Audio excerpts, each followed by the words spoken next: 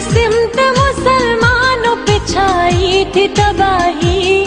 मुल्क अपना था और गैरों के हाथों में थी शाही। ऐसे में उठा दीन मोहम्मद का सिपाही। और नाराय तकबीर से दी तूने गवाही। इस्लाम का झंडा